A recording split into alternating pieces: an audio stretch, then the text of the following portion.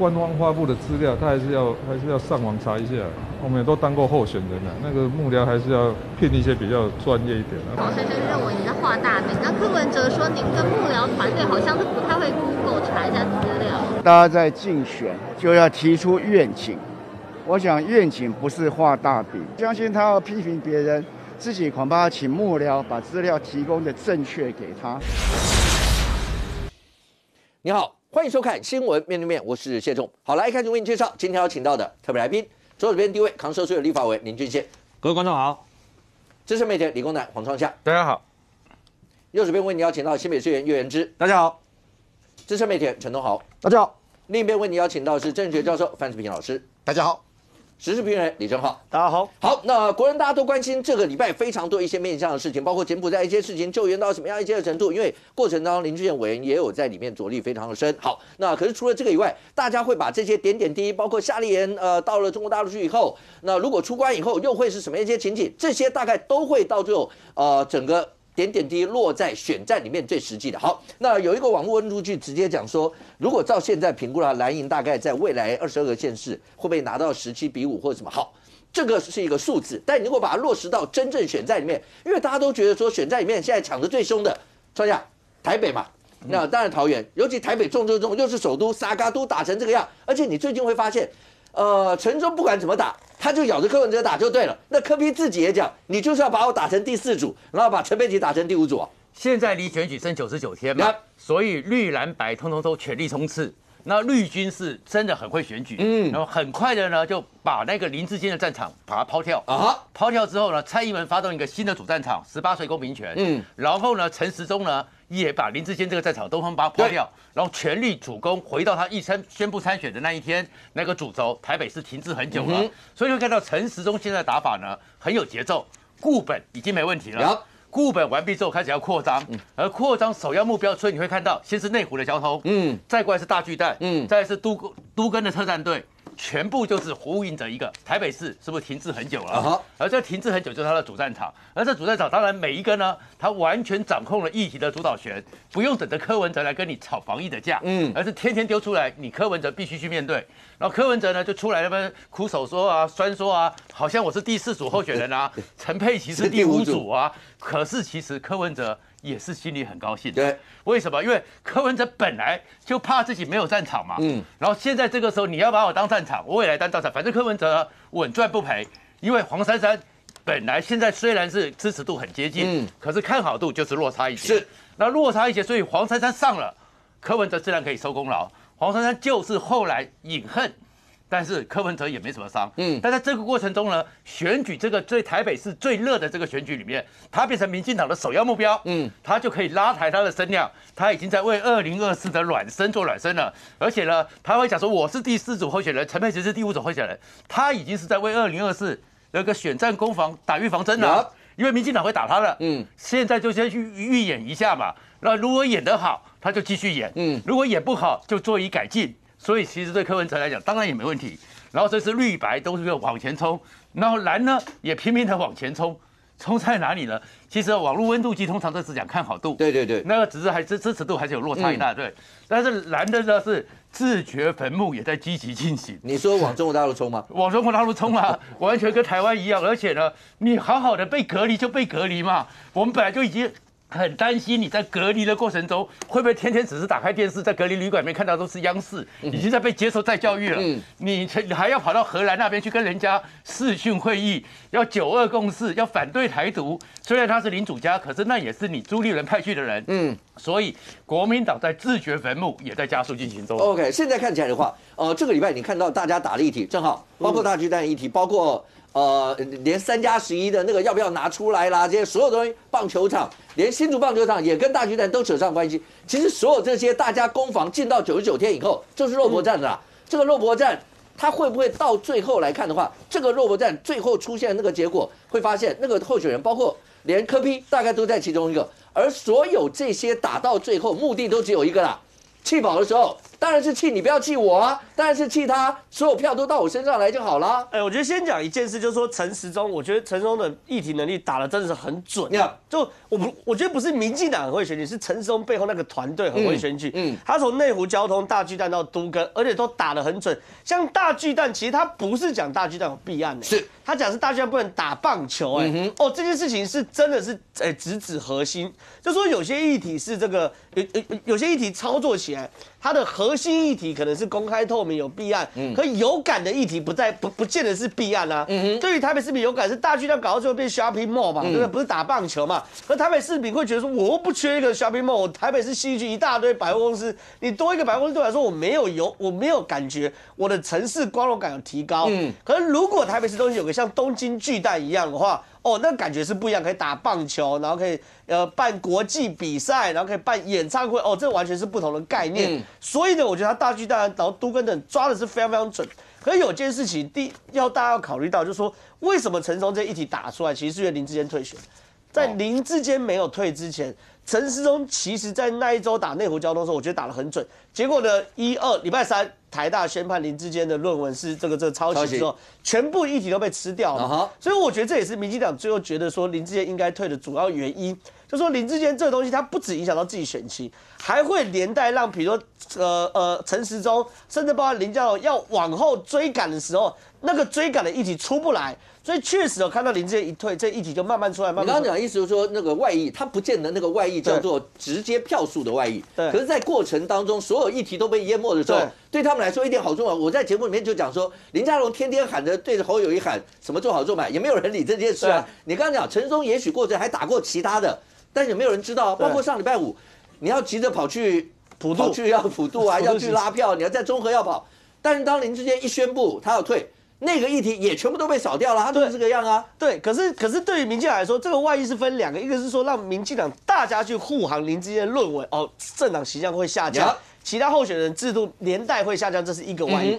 另外外意是说，因为大家讨论议题的时间是有限的嘛，像我们节目就是两个小时，两个小时论文案我就是要讨论一个半小时嘛，它就是紧绷的，所以其他议题没办法露出嘛。那林志坚一退之后，你看很多议题慢慢都露出了，嗯甚至包括侯家军昨天讲错话嘛，戴香怡讲出话，他说这个侯友谊参选二零二四不算绕跑。嗯，其实坦白讲，在论文案中这个议题一定会被忽略的。嗯可是因为论文案过去，所以民进党就抓着戴香怡这句话说，原来侯家军、侯友谊早就想绕跑了，侯家。军在帮侯友谊带风向，说二零二四年选中的不算绕跑，所以这一题都慢慢出来了，这都是民进党认为好的方向嘛。嗯，那另外一件事是柯柯文哲的方向，柯文哲昨天假生气啊，说哎呀，这个陈忠把我打成第四组候选人了，陈佩琪是第五组候选人，你把拜托，那你也可以不回应啊，嗯，你就爱回应，嗯，你就爱回应，然后怪人家说什么把他打打成。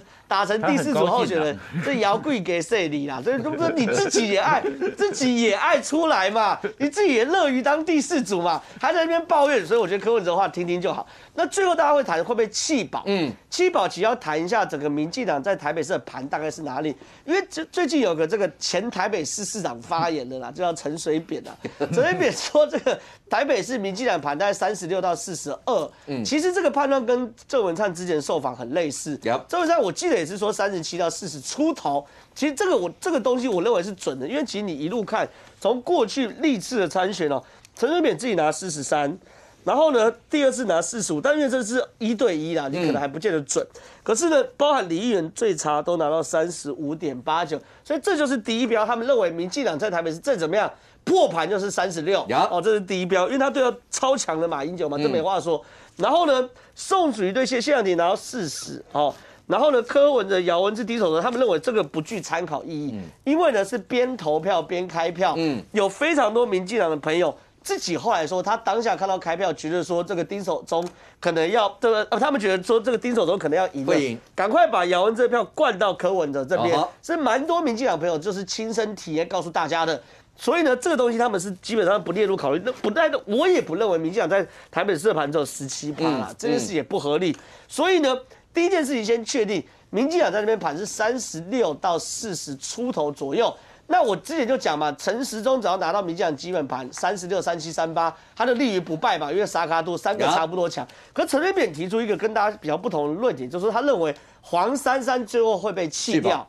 那黄珊珊会被弃掉，我觉得他就是会攸关于是说，对于莱茵的支持者来说，黄珊珊修理民进党修理的比较爽，还是蒋万安修理民进党修理的让我觉得比较爽？嗯，哦，这是情绪上的动员，嗯，他已经不是施政了。我说在弃保那一瞬间，我谈的一一定是情绪上的转移，他已经不是说哦，我看到黄珊珊这个证件，我觉得比较吸引我，蒋万安这证件不够吸引我，那所以说我会投黄珊，不是。这是在选前就决定的，嗯，透过政策理性的抉择，弃保一定是在最后那一瞬间是情感上的选择。那情感上的选择会出现，如果是弃黄珊珊的话，代表是蒋万攻击民进党，让来的人觉得哇，这个人太好了。所以你可以看到蒋万最近哦稍微言语比较酸一些，炮火比较猛一点。嗯，我认为某种程度也是在为弃保去做布局啦。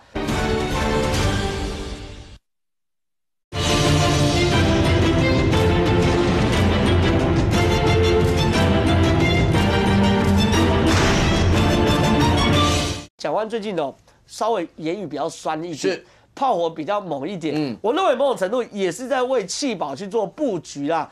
可反过来说，认识黄珊珊的人哦，都知道现在的黄珊珊不是黄珊珊。现在黄珊过于低调，他以前当市议员是非常强悍的，嗯，而且也是从律师性格出身的。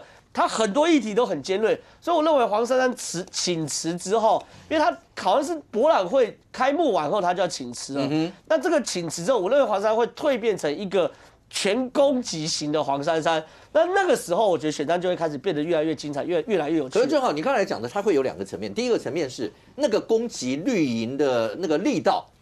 一定是柯文哲最强嘛？对，所以有很多黄珊珊的支持度，大家都说是因为柯文哲打绿军打到他已经变成反绿、非绿大大联盟的盟主了，所以有很多蓝营的票他们觉得被拉。这我不知道是不是因为蒋万也是因为这样，最近变得比较凶，这是一个。那柯文哲这样的一个攻击蓝军的这些力道，会不会全部转到黄珊珊身上？那要看黄珊珊宣布参选以后，他能不能够自己的力道也持续下去。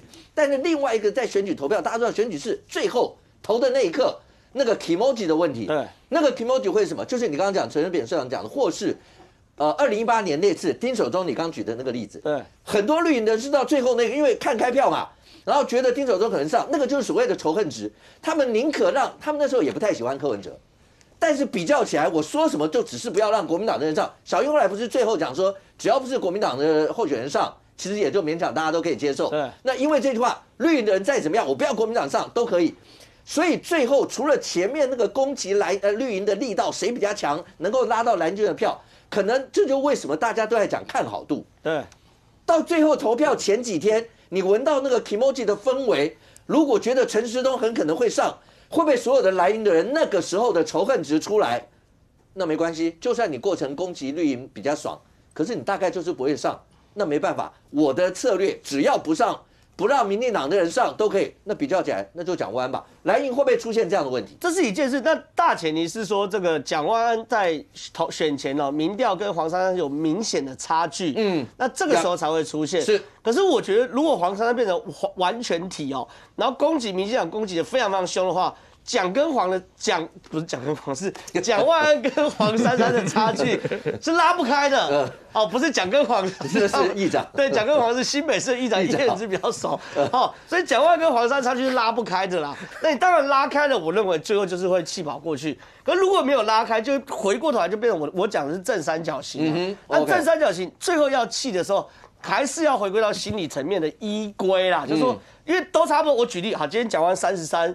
黄珊三十，那没有什么我去讲黄珊珊保蒋万的问题嘛，两边都差不多嘛，都在误差范围之内，或者说差三趴五趴，对于他们来说，其实就是谁选上之后可以制衡民进党，嗯，谁选上后可以修理民进党，对于那些仇恨值来说才是真正重要嘛。所以蒋万要避免被弃保，或者说希望操作弃保，让黄山票到自己身上，还有大前提。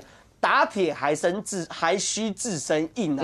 你自己一定要领先到一个程度，后面才还有后面才有被保的可能嘛，否则搞不好最后你就是被弃的可能。OK，那范老师最近看起来的话，柯批除了他自己就讲说，对，民党现在反正就把要把我打成第四组，陈佩琪是第五组。那可能追批柯批最近的一些的事情，包括连连市府一个实习生，大家都会拿出来讨论个半天。打大巨蛋，平常讲不是单纯的，你看大巨蛋，大家讲的不是大巨蛋问题，是说。八年以前你说那是五大弊案之首，结果后来呢？现在的，所以他们要为什么陈松就要公布档案？意思是说，我怎么知道你跟财团谈的过程是怎么样？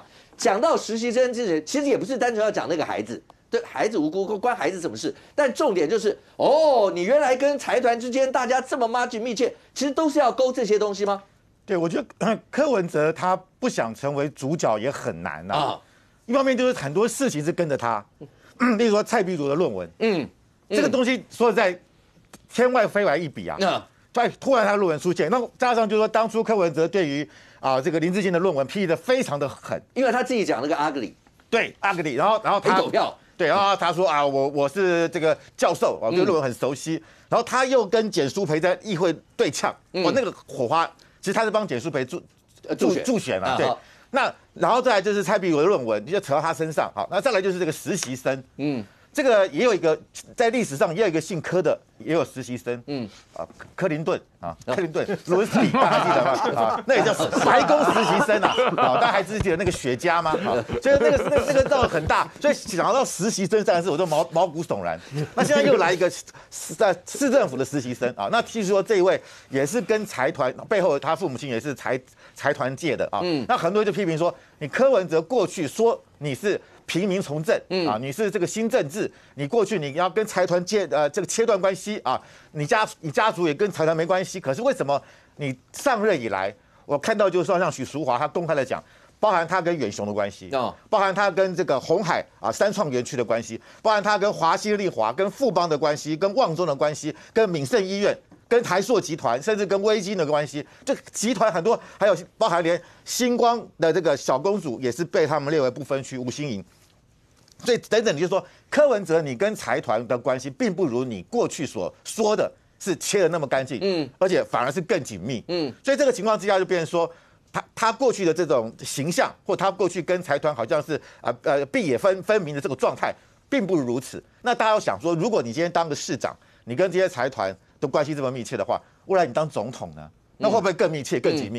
你今天在市政府，你都有这个所谓的实习生，那你到了总统府之后，你会比照克林顿一样，也有总统府实习生。嗯，那问题是。这些实习生大家都知道啊，很多年轻人他也很想能够跟柯文哲在一起啊，他可能也不不在乎那个薪水，他就是有一个资历，那这个资历可不可以作为他未来谋职或者去国外申请学校的一个很好的工具？所以大家都觉得说，哎，那这个实习生的制度是怎么出来的？好，那我最后我觉得柯文哲这些所有林林总总，变成说他即便想低调也很难。再来就是说。他本身就是一个遇到议题，他就很想蹭上去。嗯，就是他其实我我觉得他并没有要把黄珊珊的选举看那么重，嗯，他看重的是他自己，呃，为两年之后的总统大选，对他要维持他那个声量。另外，他跟财团为什么互动这么多？就是因为他知道他市长到今年年底就没了嘛。嗯，他未来要怎么样去选总统？当然要财团支持啊。嗯，好，要有财团给他挹注啊。所以说，他跟财团保持了非常紧密的关联性。那再来讲蒋万安。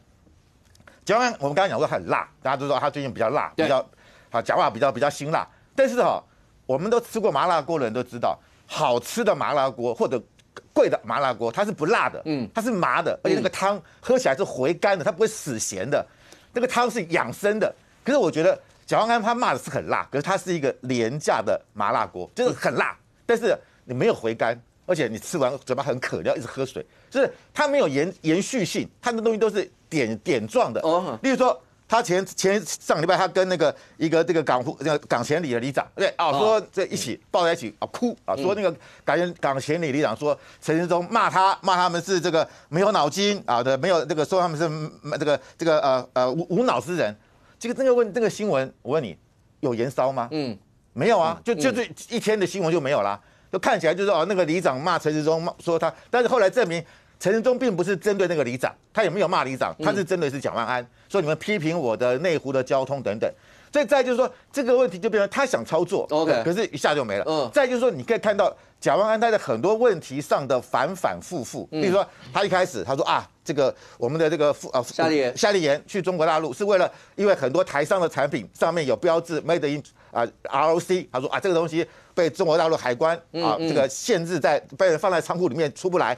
他要去协调，后来不是啊，啊，他又说啊，这个后来他改变了，他说啊，讲讲这个这个他他他们是促进两岸的交流，然后后来又发言说，他说希望啊，我们的副主席去对岸叫他们不要再军演了，就这个立场上他的改变，OK，或者说你说他在他在这个公车的票价上，他七月十六号他是反对公车票价调涨，嗯，可是到了八月十二号。他就去了一个公车总站，他说未来的公车要开要公车的票价要适时的调整它的运价，OK，防疫成本，哎，这又改变了。后来他又说啊，那个不是啦，那个只是要由市政府来拨款来补助这些业者，OK，好，但因为油价上涨等等，就是你的反反复复，那我会觉得就是说。包含蒋安他他未来很多的立场上，他要怎么样维持？例如说，他说啊，这个要网络预约公车，嗯嗯，哦，被他骂翻了。他说啊，这个网络预约公车是针对的是身障人士，针对老人家，他也转弯了。好，然后后来现在也不太谈了。那再就是说，他这个上十四号的时候，礼拜天，嗯，台台全国的这个药师工会的会员大会，他本来要参加的啊，他临时又不参加，因为可能小英去了，就变成他不参加，失去一个舞台，所以。我觉得说他在很多的立场上，他因为他瞻前顾后，嗯，啊，变成就是啊，这个吃这个也养，吃那个也养，就就变成反反复复，大家看不出来他到底的主轴在哪里。不过现在看起来的话，都好。如果真的讲，因为最近蒋万呃，他就算不是从他口中出来，有人讲到说什么黄珊珊的颜色啦，是不是呃，就是从也是从有新党，然后那个亲民党啦，然后小英他们也帮助过他选立委，类似这些。目的就是要让莱茵的人知道，说他其实不是我们一挂的吗？他其实是跟林俊宪他们家像这一挂吗？是要讲这意思吗？我跟你讲，太客气了。蒋万安的意思，他不敢自己讲，而是说有人说，嗯，黄珊珊就是绿的，嗯，你知道，他就是说黄珊珊就是绿的。可是讲这一句话，那黄珊珊就因此变绿的了吗？当然不会。嗯，可是呢，我们那么讲哈，就是，呃，你要看他跟谁讲，他选择了中时电子报，嗯。然后呢，讲黄山是绿的，所以他会是一个最极度仇恨民进党的一个收视群。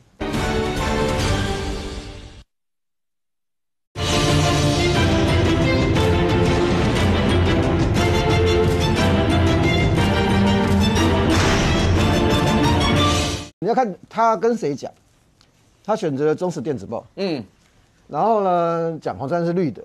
所以他会是一个最极度仇恨民进党的一个收视群、观众群哦。好，在中视电子报，在中汪汪中集团的的这个收视的这个这些这些观众，嗯，所以他他们是最讨厌民进党的。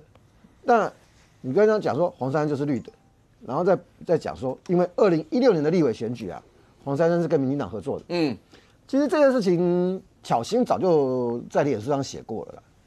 那蒋万安是现在才拿出来讲，那作用呢？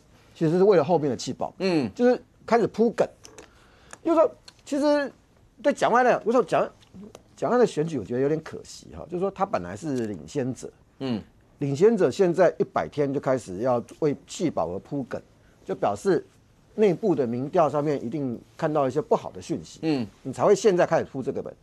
正常来讲，领先者要做一件什么事情？领先者是要直接宣布说我要过五十啊，嗯。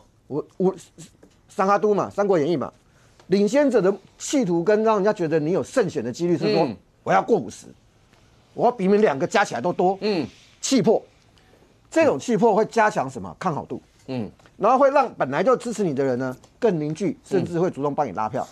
好，那因为讲完那个社保刚好是一百天，一百天是一个重要的起手式，一百天的的起手式叫做红三三是绿的，嗯，好了，那就是什么？两边互相拉扯，那呃，气保有一个问题啊，就是说黄珊珊因为副市长他准，我听说他的那个辞职可能是稍微早一点点啊，也许在八二九哦不对，差不多就八二九左右，因为八二九是登记的第一天。那黄珊珊到底现在怎么动？说实在，现在不好抓。OK，因为他现在是很像潜水艇一样很沉潜，他陈时中的步调节奏很清楚。嗯，当民进党拆掉炸那个炸弹之后，林志坚其实不只是陈时中各。各个候选人的那个诉求慢慢开始浮上来。呃，那天遇到吴思瑶，他讲目标就是我刚才讲的，冲过半。哦，他们接下来绿营要喊目标冲过半哦。吴思瑶就跟我讲要冲过半呢，喊是一定要喊啊，这样子才叫做那个对对，要有那个西瓜的效应才会出现。你如果你如果不能取乎其上，嗯，你就不能得乎其中，嗯。那你这个时候做这个事情干嘛？就是让他的基层呢，整个要能够动起来，嗯，要有热情，对。投票最后一当然会有弃保，就是说三组候选人，如果我们在投票前一前最后一个礼拜的时候，你发现是陈时中比较高的时候，因为那个时候不能讲民调哈。啊哈，对。那么自然讨厌民进党的人之间会有一个流动。嗯。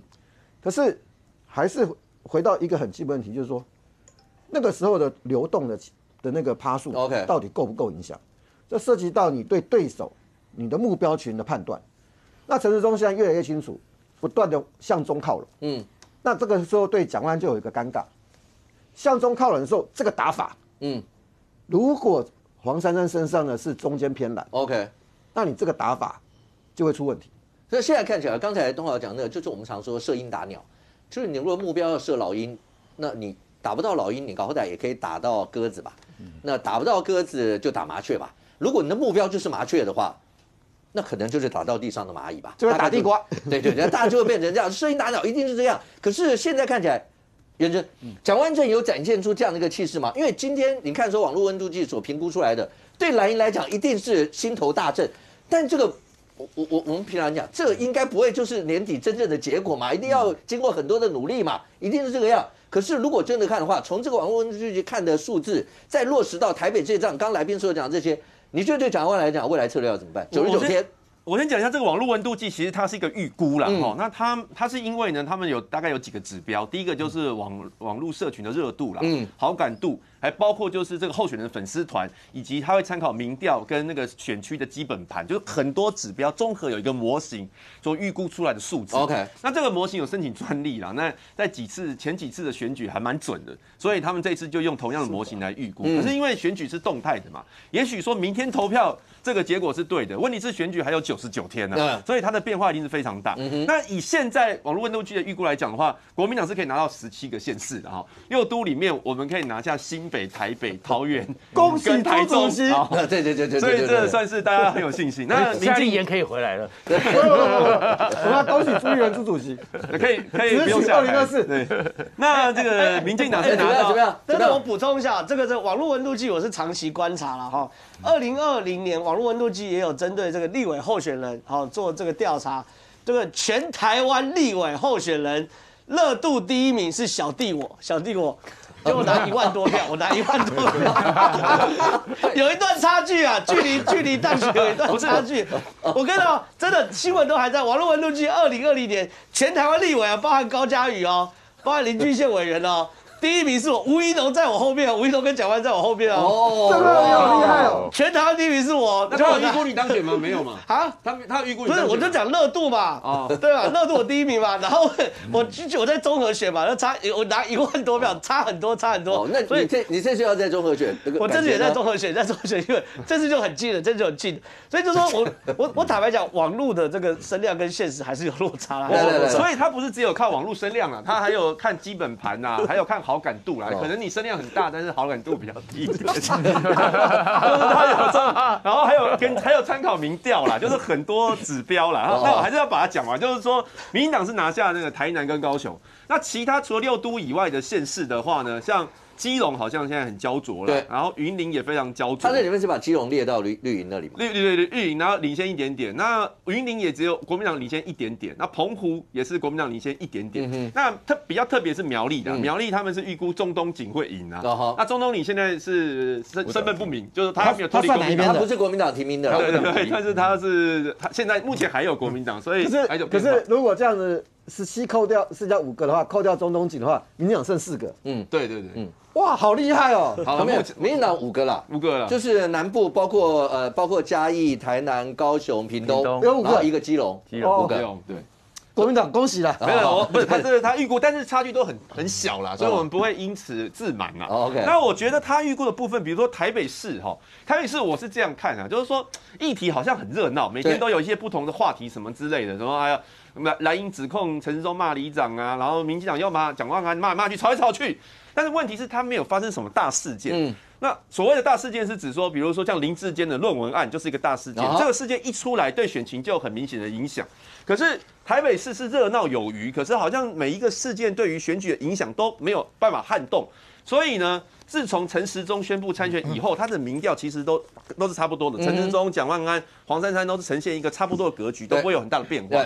那我觉得目前看起来，假设候选人本身没有爆出什么大事件的话，现在可以看见的大事件就是黄珊珊辞职这个事情嘛。那黄珊珊辞职到底是对黄珊珊的选情有帮助还是没帮助？我我我觉得现在很难判断。刚刚郑浩的意思是说，黄珊珊辞职之后一定会变得很强，后会很猛，他的支持 对，但是也不见得啦，我觉得啦，为什么呢？因为你看黄珊珊为什么要拖到最后一刻才辞职？他拖哎，八月二十九号登记耶，那登记到九月二号，你不辞职也不行的，但他拖到八月二十九号辞职。代表说他在台北市政府这个位置，他觉得很好用嘛，对不对？他可以参加什么城市博览会啊？他出去拜票有公务车或者是公务员陪同啊，这个位置很好用。哎，可是，一旦他离开了这个位置，他能不能保持这样的温度？能不能保持这样子美光灯的焦点？不一定哦，我觉得不一定，这是一个非常大的变数。那黄蒋万安的部分的话，我觉得蒋万安现在都是把重点放在陆战了，所以他昨天有宣布一个十二区的行脚计划嘛。我相信黄蒋万安他去到各个地方跟人家互动，大家一定会觉得很很高兴啊，因为他长得很帅嘛，然后也很亲切，所以大家很高兴。所以其实他现在是有点把重点放在这边。那之前已经大概走了大概刚刚他讲了，根根据他们的说法，已经好像一两千场了，就是基层的，所以他就现在主要是靠这一点。可是可是我觉得空战部分，他有一个地方。我自己觉得要稍微加强一下，就是说有关于政策的论述，嗯，比如说之前讲那个预约公车，好被大家笑，就说哎呀，这个公车怎么那么密集呀？那么密集的公车，如果我上去的位置被坐，那公车司机不是还要帮他们赶人？怎么讲一大堆？但其实后来发现，根本他讲的不是这个事情，他讲的是针对，比如说从土城到内湖这种比较长期的这种公车，如果比较弱势的团、弱势的人士上车没有位置坐，那他可能就坐计程车或请别人载，那就会增加车子到到内湖的机会，那就会比较塞。所以他要增加这种班次。你讲出了一个重点，就是那个空站，因为空站它会影响到包括所有的民调，包括什么都会有影响。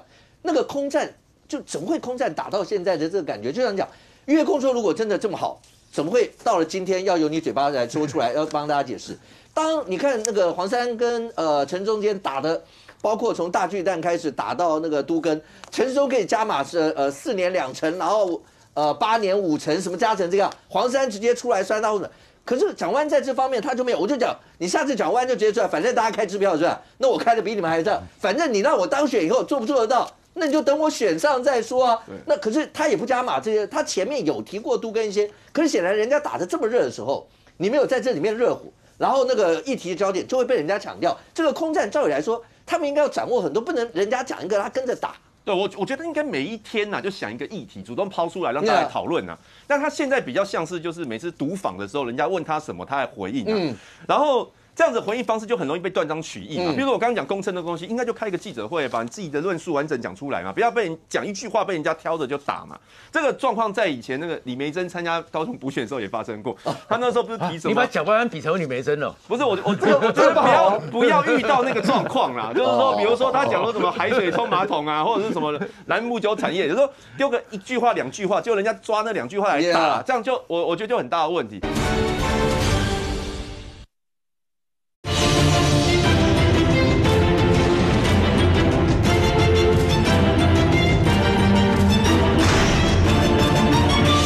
他那时候不是提什么？你把蒋万安比成李梅珍了？不是我，我这个我觉得 不要不要遇到那个状况啦。就是说，比如说他讲说什么海水冲马桶啊，或者是什么蓝木酒产业，就是说丢个一句话两句话，就人家抓那两句话来打，这样就我我觉得就很大的问题。那至于说会不会发生弃保哈，我我认为啦哈，因为其实黄珊珊她有也有吸到部分绿的票，就是民进党的人，可是很讨厌陈时中的，也是也是有。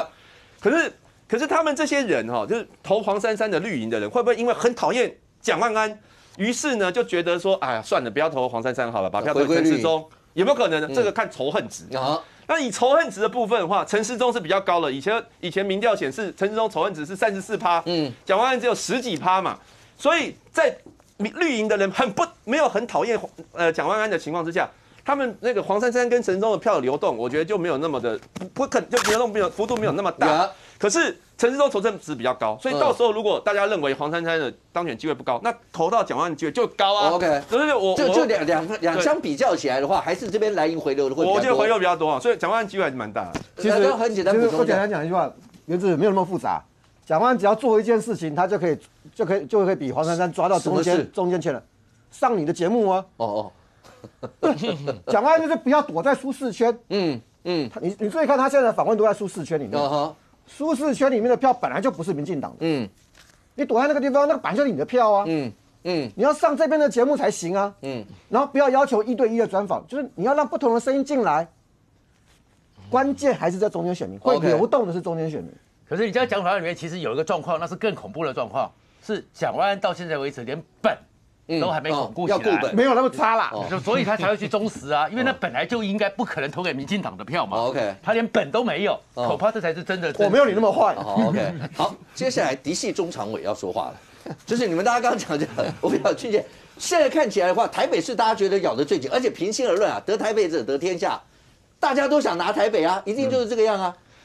当然啦，但是我每次在在我们这边讨论哦，不管是徐小新也好，或者今天我们优秀的叶元之也好，每个人都在说，哎，讲话应该要怎么选呢？哈，讲完就可以怎么做怎么做，都是小鸡在抢救母鸡，嗯，啊，那我们看都感觉得出来。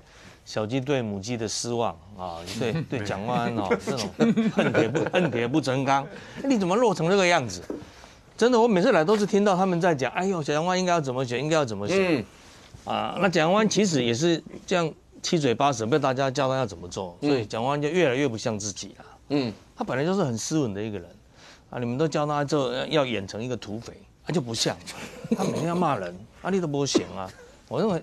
讲完就是这样哦，那也不知道听谁的哦，那大家都指责他选的不好，嗯，哦，所以这样看起来的话，才会有造成黄珊珊的现象。哦，如果蒋万安够强，怎么会有黄珊珊的现象？嗯，那会不会弃保？一定会有。嗯，那我们也不希望有弃保了。哦，那会不会弃保？其实最主要就是柯文哲要解决的问题。为什么是柯文哲？因为如果黄珊珊被放弃的很彻底，嗯，那那柯柯文哲怎么办？就不用选了。对啊，柯文哲就不会有未来了嘛。嗯，因为黄珊珊等于代表柯文哲出来选举嘛，所以如何不让黄珊珊被彻底的抛弃，嗯，那是柯文哲的事。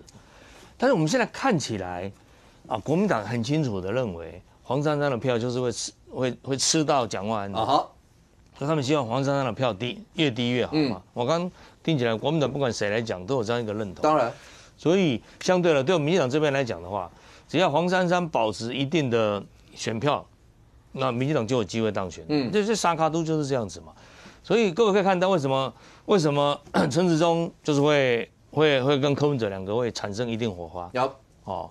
那柯文哲在骂蒋万安的时候，有没有看到？他其实是面带微笑的。嗯，哦，他他就是要这种局势嘛，他就是要主导跟蒋跟跟跟陈时中一起来打这场嗯哼这场台北市的选举嘛。因为你认为柯文哲会觉得黄珊珊可以当选吗？哦，你觉得他也不觉得？不，不可能嘛，不可能嘛。其实只要头脑正常都知道黄珊珊不会当选嘛。啊，但是他不能票不能太难看。嗯。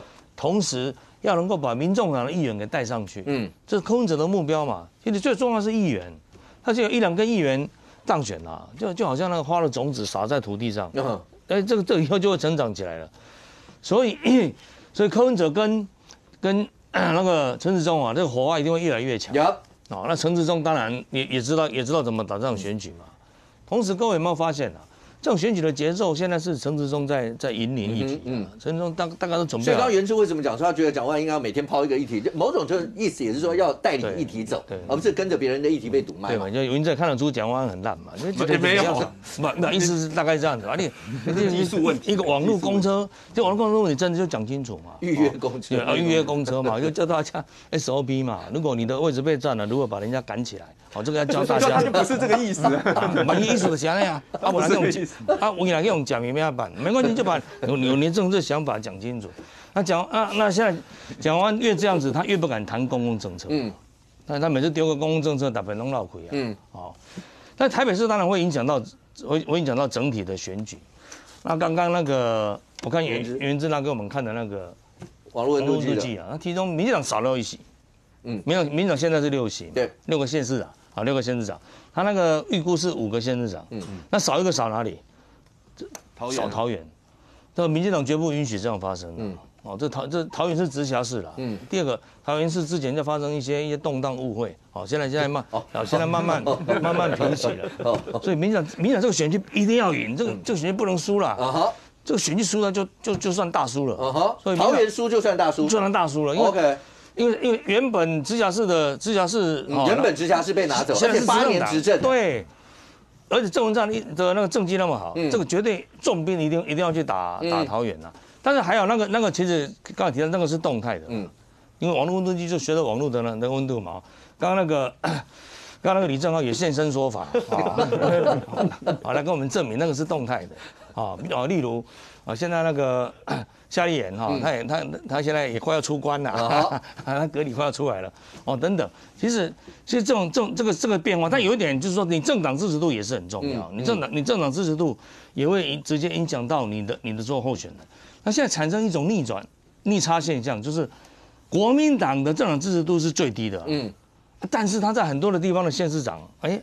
看目前的民调看起来还是领先，有哦。那民进党如果去把这样的一种，把这样的一种政党的 优势，相对的民进党是有政党优势的，嗯。那如果把它转化为在地方县长的选票，所以我觉得未来啊，未来未来这场选举哦，这种打那种整体战啊，就是就是不管你现地方县市的的特色，就打那个整体战哦，对民进党相对有利。那民进党这样子的一种整体战哦，其中很重要就是台北还有桃园，嗯哼。你看，你看南南部高雄、高雄、台南大概大概胜负已定，但其实没什么讨论度嘛。哦，所以这样这样选举未来啊，真的在台北，我们就要依靠陈时中还有柯文哲。嗯，好，我还以为你们就要依靠蒋万。哦，那桃园桃园的话，那我们就是全部哦，我就我认为民党最会选举的人，接下来很快就会转到桃园去。不过刚才讲说桃园这一仗，因为桃园不只是刚呃，如果照军选委员刚刚说的话，桃园丢。民党就等于大败，你不管其他地方拿了什么，八年执政，然后一个直辖市这样一个丢掉，上下你自己你自己在中立没？桃园这一仗，而且有人常讲说这一仗如果如果谁丢，那个党主席大概都不好过。桃园这里面的，如果桃园和台北民进党都输了，嗯，那这个时候呢，蔡英文呢，坦白讲就已经提前跛脚了，然后整个民进党内部面对第二个重挫。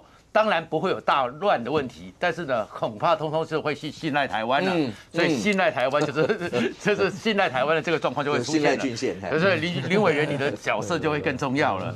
但是如果台北赢了，桃园输了，那东西还是会有影响的，会影响到哪里呢？就是郑文灿怎么办？嗯，那郑文灿的下一步会怎么办？那郑文灿如果没有下一步，嗯，因为如果桃园再输掉的话，郑文灿可能他的政治前途就要暂时的就要再沉潜一阵子了。所以郑文灿这个是有一个状况，如果桃园赢了，台北也赢了，嗯，那整个蔡英文的自信心会更强，英系的自信心会更强，所以这时候信赖台湾的牌子可能就要先收一下，嗯，那可能是陈建仁啊什么的交出来，所以这个牵动是很大的。可这里面就回到郑文灿了，嗯，那郑文灿现在就是桃园这场战争里面一个核心的，所以在南桃园很多人在问，到底是就跟台北一样，嗯，有没有第三号第三号候选人，第四号候选人？所以第四号台北是柯文哲。桃园会变成郑文灿，尤其在南桃园这边，所以这个郑文灿的角色，可是这里面呢，桃园的麻烦在哪里？麻烦的在就是郑文灿必须让人家觉得，嗯，你有未来啊。因为桃园太多的时候，桃园其实没有那么大的派系，那很多的地方上的系统人走茶凉，嗯，所以你看到吴吴志阳走了以后，朱立伦离开了桃园以后，在桃园就没有影响力了。所以如果可是如果你郑文灿有未来。比如说，哎，苏贞昌真的就是功成身退了，这是郑文灿的未来。那桃园的地方派系就觉得，哎，我挺你郑文灿，我就等于挺郑运鹏。那将来你郑文灿在整个照顾的时候，中央资源会照顾。可是如果你郑文灿没有机会，嗯，那我干嘛要挺你呢？人走茶凉。嗯我跟郑云鹏虽然我跟你郑云鹏也算认识，但是郑文灿比较熟，所以其实桃园的现在变动。可在变动里面呢，更复杂的问题是，郑文灿是郑云鹏现在碰到一个状况，就是。当你原来两个都空降的，嗯，所以原来桃园里面本来有北闽南客，南北八年轮流执政，这个东西被打破了。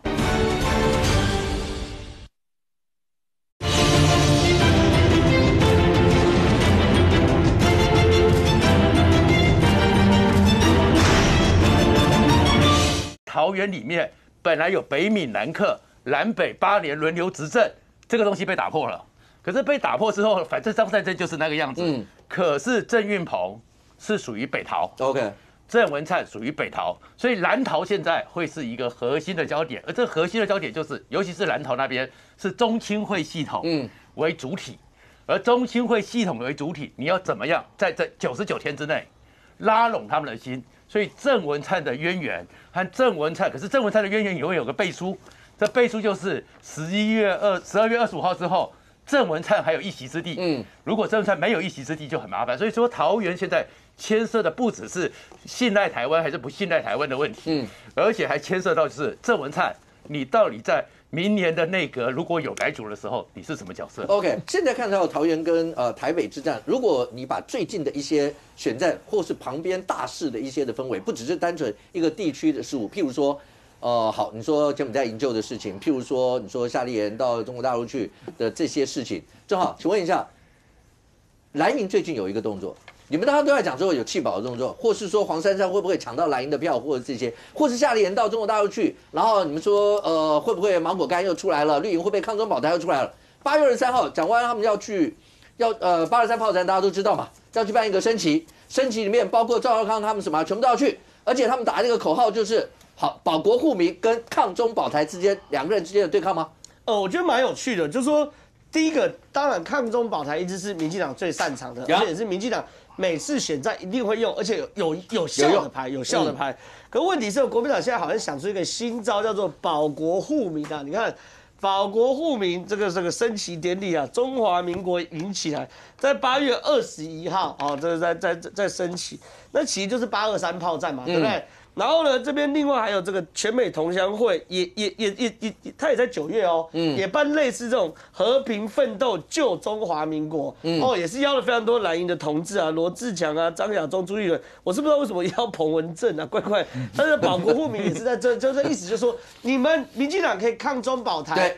我们国民党可以保国护民，好，我但是我觉得这路子是不是对？我觉得是对，是对的，没有不对啊。嗯。可是每一次我在国民党坦白讲，我很久到现在都跟国民党互动很久，国民党每一次反共就反一天，嗯，反八二三炮仗那一天，嗯，每一次八二三炮仗的时候，他们就一定会去升旗，一定会去鞠躬，然后一定会呃那那这这这唱国歌，然后甚至呢搞刚一点还跑去金门啊，跟金门县长杨振武合体。然后呢，一起去去去，可能是忠烈祠啊，或等等的，然后去去表达我们中国国民党是可以捍卫台湾的。可问题是你每一年三百六十五天只演一天不够啊。嗯。那大家会看的是你另外三百六十四天在看什么啊？嗯。你另外三百六十四天是在派夏立言去啊？你另外三百六十四天是跟这个大陆事务部主任林主家在谈九二共识啊？嗯。然后是这个洪秀柱去新疆啊？去完新疆后，说新疆人在唱歌跳舞啊，一片和乐融融啊，就是大家会看一个政党形象，应该是这样子看，看一个比较完整的图案。而且八二三那一天，夏立言还在中国。对啊，对。如果刚讲说的蓝营在八二三要办的这个升旗的话，金雄伟直接问一下，因为蒋万就呃一定是蒋万为主嘛，因为希望能够拉台，包括他这一招，在这个时候，你可以看到，包括他们喊出来的口号，某种程度算不算是其实一石三鸟？第一个。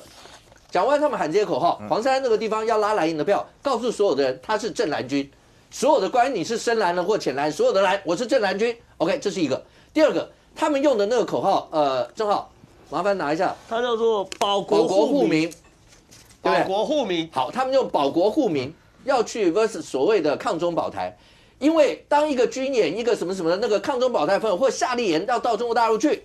家园去中国大陆一定就会被，然后最近绿营的人就一直讲说，这个时候你们是不是要去投降？类似这些，好，他就跟你讲说，他要降低这样一些氛围，把夏令营的冲击降到最低。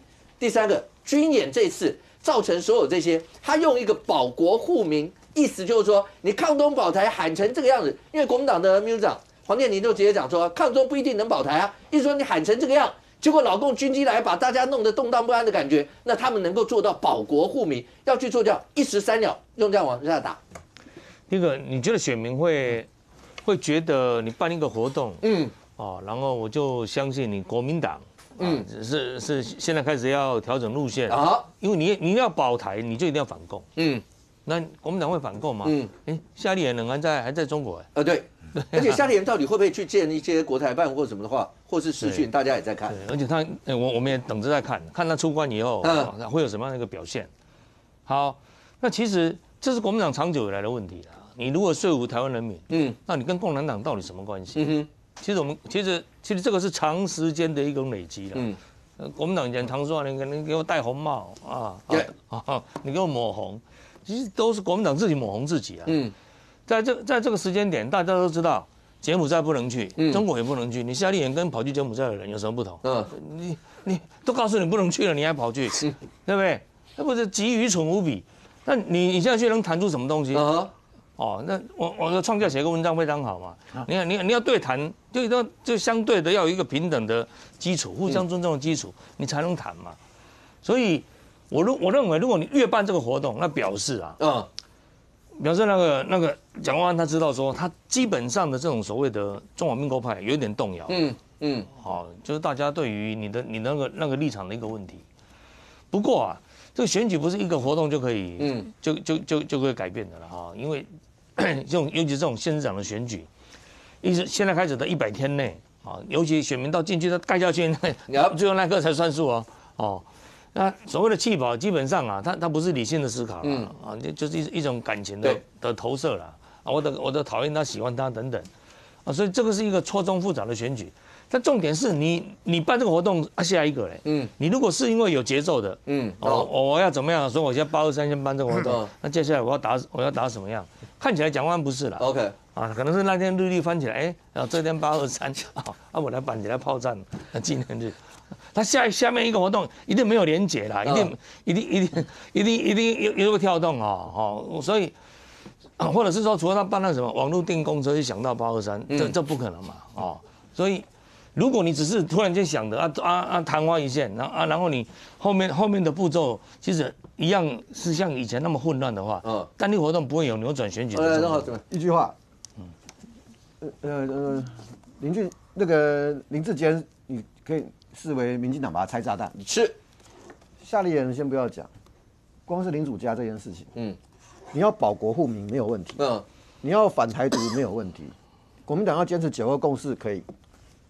可是你都跟对方视讯了，军演有没有讲过一句话？嗯，军演能不能在对面国台办办的活动里面讲一句话？嗯，不要军演，不要这样子搞。嗯，反对军演，不要用恐吓的。嗯，国民党现在有没有办法讲这么一句话？嗯，这句话如果没有讲出来，你办再大的八二三，但是还是你本来口袋里面的的票。嗯，中间选民怎么看你？嗯，你抢中华民国。蔡英文抢中华民国是抢，不是抢蓝深蓝深绿的票哈。中华民国过去从来不是民进党的票，中华民国你要抢回来，你才有救。嗯。可是你只会讲反台独，只会讲九二共识，你怎么抢得到中华民国？嗯。你对军演一句话都没有哎。嗯。我就讲一次哦，国民党现在要拆炸弹，你的问题在哪里？对军演，你都已经到了对面了，你连一句话都没有。也是现在一个就是大陆是国民党大陆事务部林主家，然后跟刘杰一次视讯，已经在国内大家讨论的沸沸扬扬。接下来夏立言，夏立言到底会不会出关以后，会不会也跟国台办的一些官员之间，因为因为出要出关呃要去大陆以前，好像我记得他讲说不会到北京，然后也不会见一些的高官，当然有时候客随主便嘛，那要看他们怎么安排。那可是这些，如果只要有这样一些接触的话，会不会回来又变成另外另外一波？就是你不管办，刚才刘斌讲，不管办八二三炮战，办什么什么，办再多，跟这个比较起来，都会被抵消掉，生活还复还复数了。这个呃，夏立言啊，林主家在大在大陆干嘛，一定都是影响到我们要选举的人呐。其实要选举人也知道啊，他也知道说啊，所以他忍辱负重。就是说我们要选举人都知道了，就是说地方选举其实你就是好好的服务嘛，然后提一些政见嘛，去争取市民的认同。两岸关系其实不会是我们在这选举的重点，可是两岸关系会成为我们选举的干扰。那所以蒋万安为什么之前一开始他被媒体问到的时候，因为他也搞不清楚状况，所以说哦去关心一下台商很好，哎，结果后来发现说好像不是只有关心台商，好像还有一些交流，他他也改他也改口了嘛，就是他其实是降低干扰。所以刚刚郑浩讲的什么保国护护民活动，你国民党不能主这个，你讲这个不能不溜啊，保国护民活动，我觉得他不是为了这个加分啊，他是。办这个活动去抵消，就是夏立言、林主家在那边的通缉，是抵消了。就说告诉叶子，我觉得你比较像是忍辱负重的那一个人，真的吗？每天每天帮夏立言辩护，算是忍辱负重。他就说啊啊，我就是说 我我跟他不一样哈，我是反共的哈。你们选举的时候记得要要切开啊，投我。蒋万安是蒋万安，那夏立言是夏立言。我觉得他只是想要达到这个效果而已啊。那当然。党中央的说法说为什么要去，是说，哎，蔡英文也有对话啊，那为什么我们不能对话？不然就不然就是讲说这个，呃呃，反正有一套说法啦。但是我觉得大家也不会很认真去听啊，一般人也不会去。不是因为你的侯友谊、卢秀燕第一时间也都跳出来讲说，那个时间，你的对话绝对应该，但你那个时间要挑着看着嘛。对啊，所以所以是要选举的人的。调调跟党中央就完全不一样。那我在，可是我觉得这件事情党中央都没有讲清楚到底去干嘛。嗯，其实真的都没有讲清楚。第一第一时间，你你这样讲，那蒋中央又死一次。没有没有没有死一次，他应该在。人主就是为了那个中华民国好啦，在正在进行一个很很重要的计划，但但是没有告诉大家，所以我们俩自己的的人都没有说服，你要说服全台湾，就是其实我觉得，因为一开始的时候去应该是没有想要公开啦。就所以他并不可能一开始的时候没有想公开，不是不可能啊，因为要申请啊。这个消息是怎么曝光的？都是好像一个某媒体是跑路委会的记者都把它写出来，连续两三篇都是跑路委会写出来，所以这应该就是路委会。不是你要到路委会去特级件申请，怎么可能不曝光？对啊，对啊。而且如果不曝光，就去也没有什么意义啊。曝光啊，就是私下一些交流了。因为林主家的视讯就是央视把它曝光的。你知道林主家那个事情，新华网做多对啊，对啊。这这个这个是对政治人物，你你要从政的人，你一定要有那个政治能力。这个是这个连 A、B、C 都算不上。而且从新华网、央视里面的角度是什么？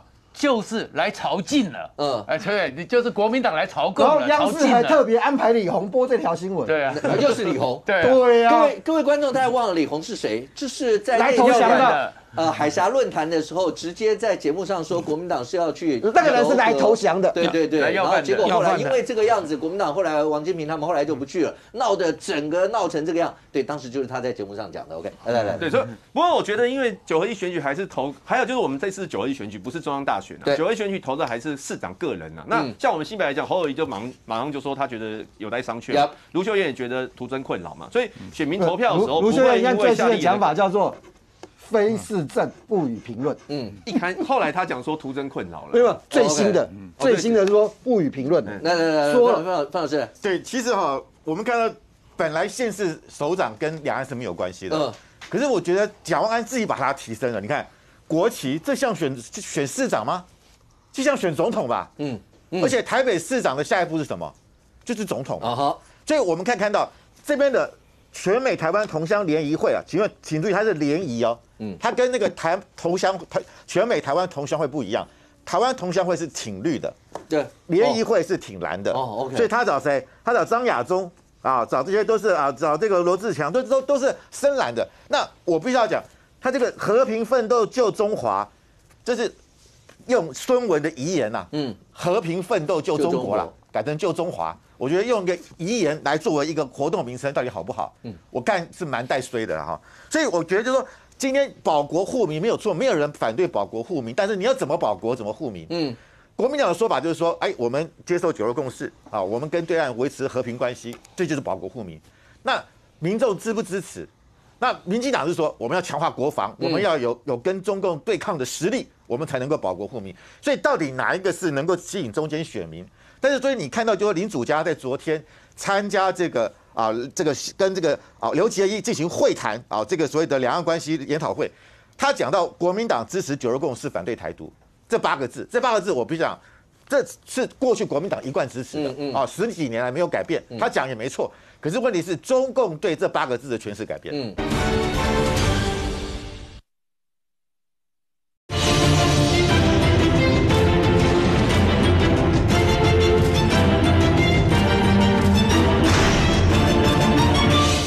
讲到国民党支持九二共识，反对台独这八个字，这八个字我必须讲，这是过去国民党一贯支持的啊，十几年来没有改变。他讲也没错，可是问题是中共对这八个字的诠释改变。嗯，他的九二共识是什么？二零一九年一月，大家知道，习近平已经已经把九二共识等同一国两制了。嗯，然后香港的一国两制已经变成一国一制了。所以九二共识在中国来讲。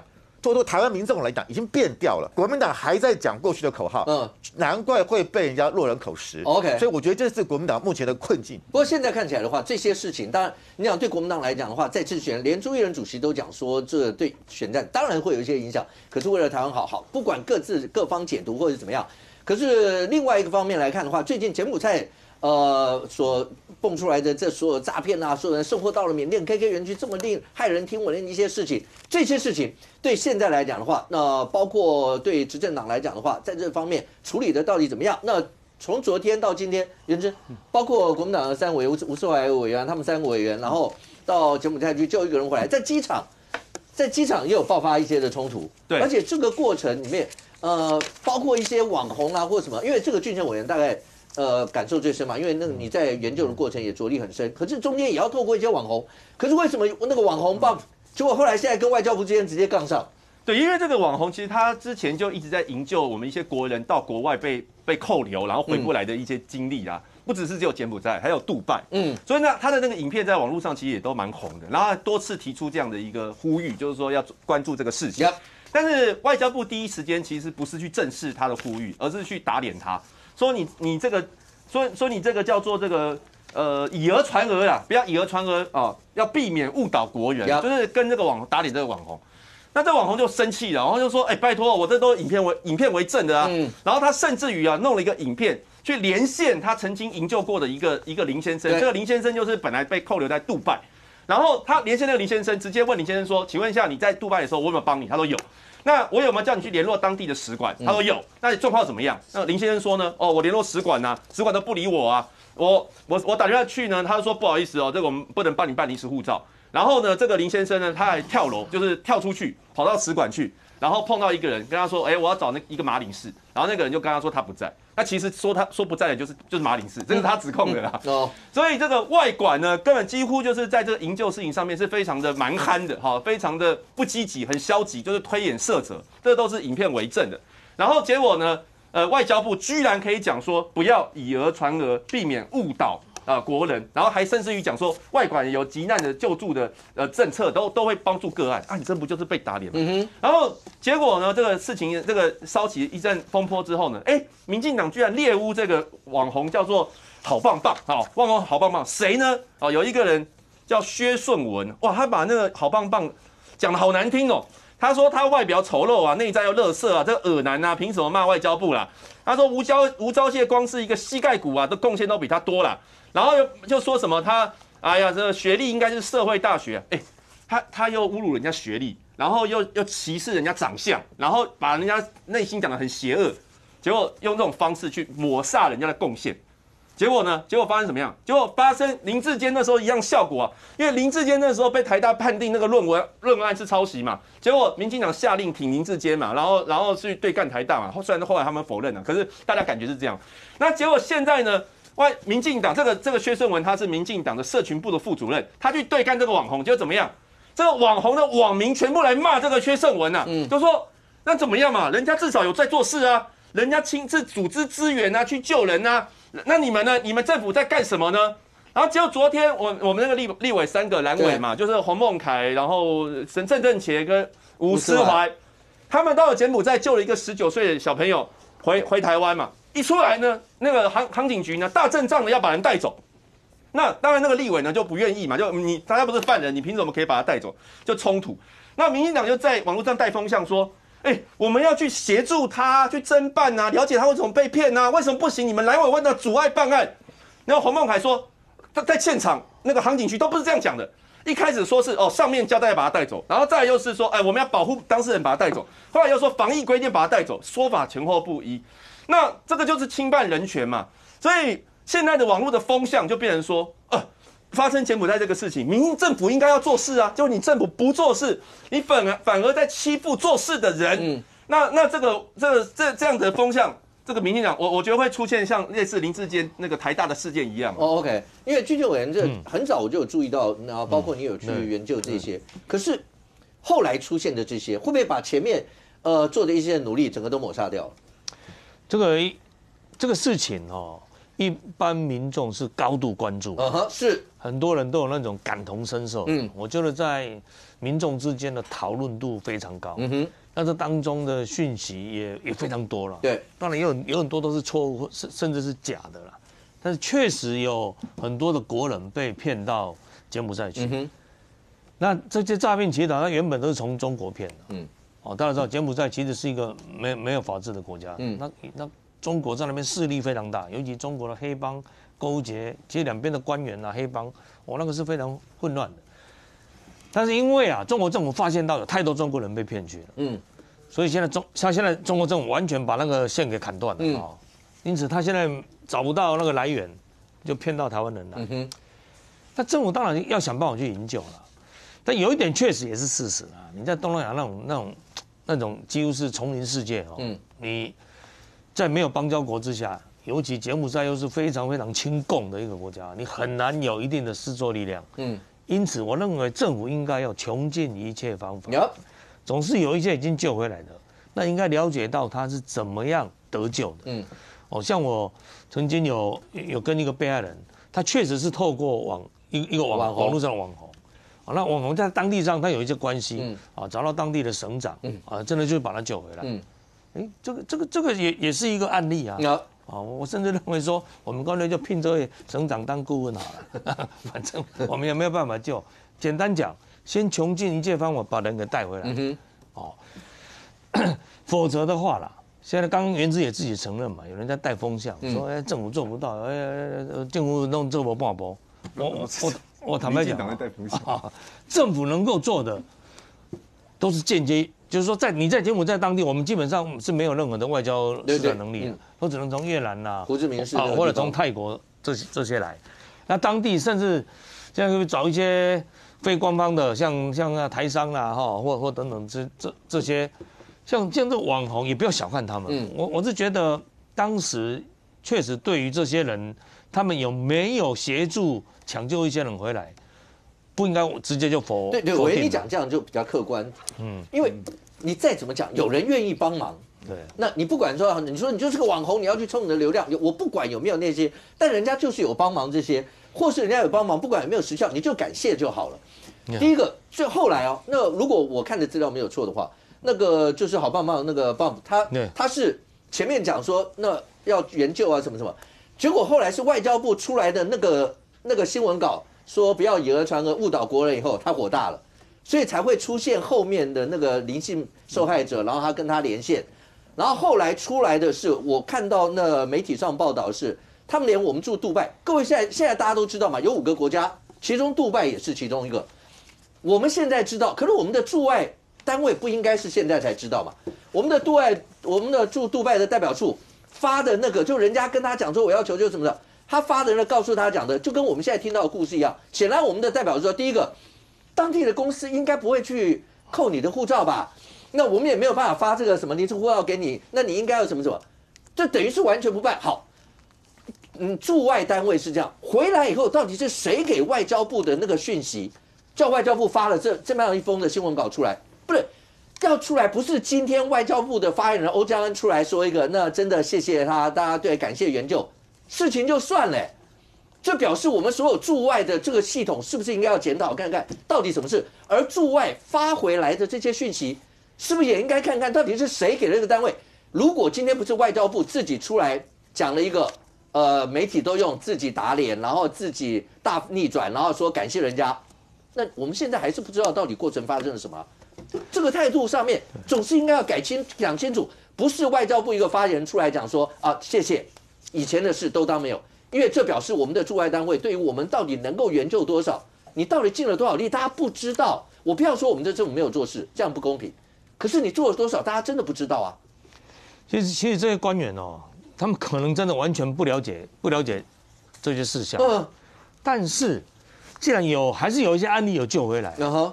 应该要去了解到他们是怎透过什么样的管道回来的。嗯哼，例如我接触了这位被害人，嗯，他就是有跟这个棒跟豪棒求助。哦，OK，他确实就是一个得到他帮助的。是啊，我说那他怎么帮你？他都跟我讲。嗯，哎，其实这就可以当做你的一些参考。嗯哼，我认为驻外驻外的官员有没有受过相相关的这些训练，了不了解？说当你遇到哦像这种人失踪或者被。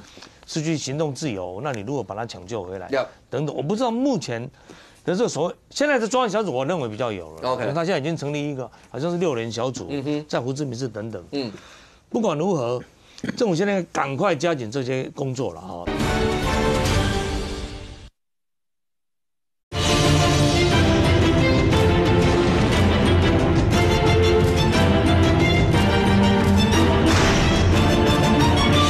不知道目前的这个所谓现在的专案小组，我认为比较有了。OK，他现在已经成立一个，好像是六人小组，在胡志明市等等。嗯，不管如何，政府现在赶快加紧这些工作了哈。例如，他现在做一个普查，嗯，凡是出境到柬埔寨没有回来的，好像四千多位吧。OK，他是每一个都去都去问，跟跟家属跟台湾的关系人失去联系的，哦，好像有两百多人，嗯，哦，就就是后来他们也报案，那那现在抢救回来的，那到底他他们怎么样回来？我我我认为确实必须要去了解他们，因为每个样态都不同。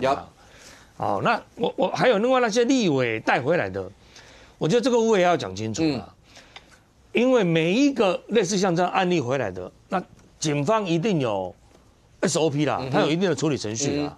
你如果因为你你也不晓得这个人是被害人，或者是他是关系人等等，那你的处理程序标准是怎么样？是直接就就哦，也就是说，就算是立委带回来的，也不能有特例了。OK，不能妨碍到办案。啊，但是如如果 如果你只是因为这些立他这些人是立委带回来的，你警方就要去多做一些动作。嗯，那这个当然就不允许。OK，目前警方的讲法是说，从之前每一个带回来的，他们都是循。相同的标准，嗯，就是说直接去了解他啊，他他的身份啊，他的状况啊等等啊，不是说因为是这些立委带回来的啊，啊才才才才会想要去把人给带走。相对的，那就算是立委带回来的，也必须要按照警方办案的这个程序，嗯，不能妨碍到啊这个相关的办案事情。OK，正好请问一下，其实这件事情在网络上面就爆吧或者什么这些，哎，你光他一个影片。影片大家流传传阅量就三百多万次，你可以知道它的影响性或各方面，这些对于包括未来大家不知道对于选战或各方面，它会有什么影响？光这件事情你自己看到，呃，不管是民间或政府之间，你会怎么判断？我分几件事情啊，第一个就是说，我觉得啦，民进党政府或者说现在的政府，或者是说民进党支持者有一个心态，就是说好像。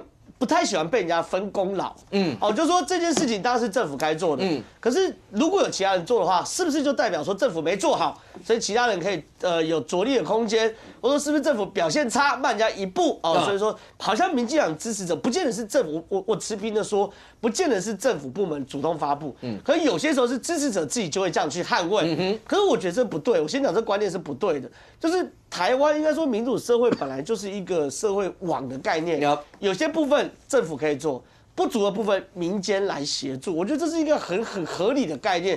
比如我们小时候买邮票也是这种概念，对不对？这是热心邮票，我们来协助政府做不到的地方，还有一些地方的服务也都这样嘛。可是你看，从那时候买疫苗，好像就有人攻击说你为什么要买疫苗？政府已经买啦。嗯可问题是就是政府的疫苗还没到嘛。嗯。比如贾永杰捐那个呼吸器。也有人说，哎，你这么捐的刚好在分裂台湾，那时候讲起来出来流眼泪或什么的，又或者这是救人。其实我觉得，对对我的观点很简单嘛，我当然知道这是外管责任，可我也知道地方很大，一个外管做不了这么多事情，我也可以体谅柬埔寨洪森政府跟中国很好，是我们台湾的外交部能够插手的很也很少。因为洪森政府就是跟中国很好嘛，那在这时候有些民间的力量来去介入，来去协助，我觉得真的没有必要，就是去把他们打击成说他是耳男呐，什么什么成绩。因为正好这件事情是第一个发这个文的，好了，偏偏他就有民进党网络中心的副主任像这样的一个问题，然后后来是被网友大家，你知道网友太厉害了，他就会去搜这些，而且刚刚讲那个，其实当外交部发出那个新闻稿的时候，对，显然一定是有人传信息告诉他们是这样。那那为什么要这个样呢？你问一下林俊杰委员就知道，林俊杰委员都说他他自己接触的那研究员也说这个人有办法，就像你刚刚讲的心态，有人帮忙都好。我们的外交处境真的困难，你干嘛要去发那样？一定是有人告诉你这样一些讯息啊。对，所以说我刚刚讲，有些还是绿营支持者，就是说爱屋及乌，哎自发的，想帮民进党辩护，说你不用多管闲事啊，政府会搞好。可这件事已经是上升到一是民进党维权呃呃网络部的的的的副主任党工了嘛。第二件事情，外交部发新闻稿嘛，公部门出来嘛，那这件事就很严重嘛，就说他们已经不是怕被抢功劳了嘛，怕被觉得说这个事情做不到位，嗯，哦，就是能力不不够。可我觉得其实你去感谢他，然后你好好跟他跟跟大家来解释，洪森政府真的没有那么那么的好处理，嗯，他是没有办法寻求一般的外交管道来去做协商，我觉得大家是可以接受的。可是你去去攻击人家，坦白讲，他就算过去有再多争议，嗯，他这件好事好事就是好事嘛，你也不会因为他过去有太多争议，然后然后男女关系不清楚或等等的做很多坏事情，你就说这个救出来人不是人嘛，嗯，所以我觉得是没有意思，这是一块啦。那另外一块就是说我这件事情会不会后续发酵？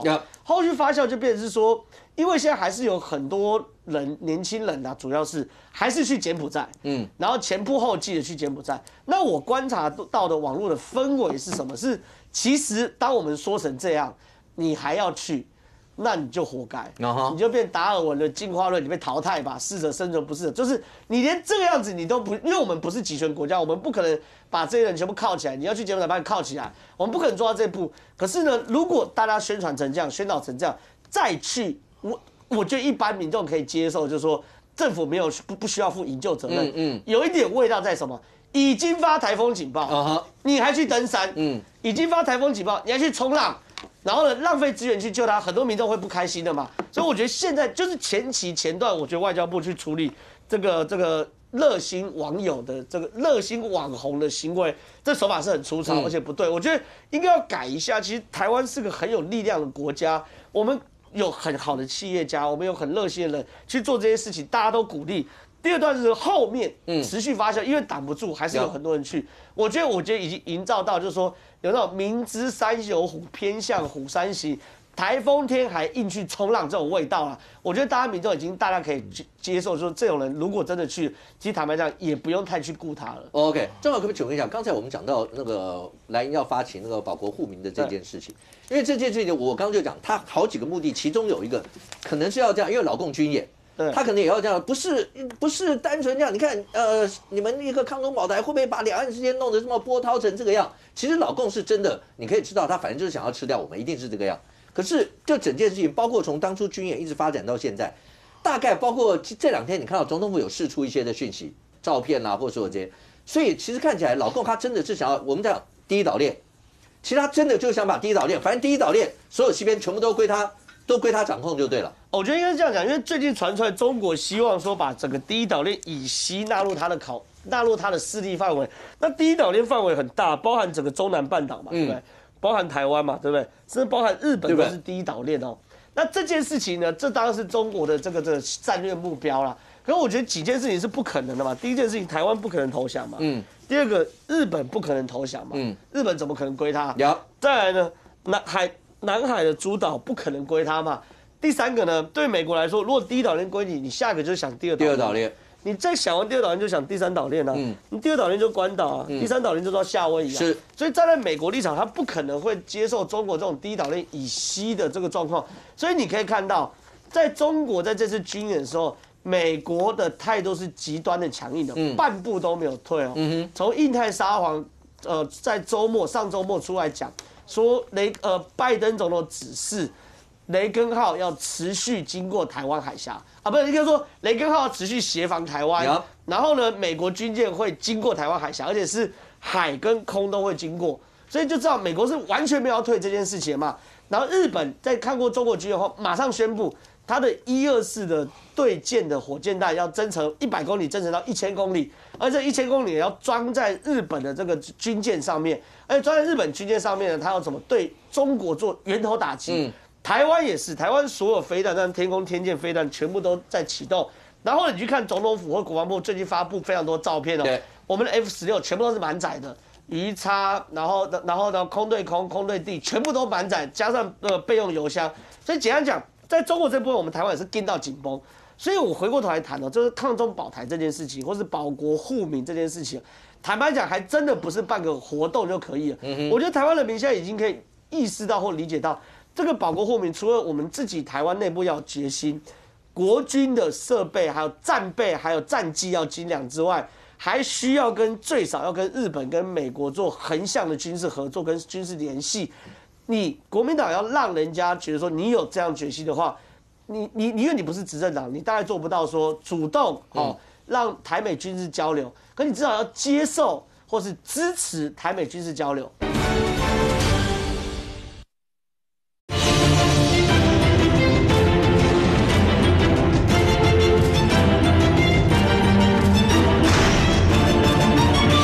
因为你不是执政党，你大概做不到说主动哦。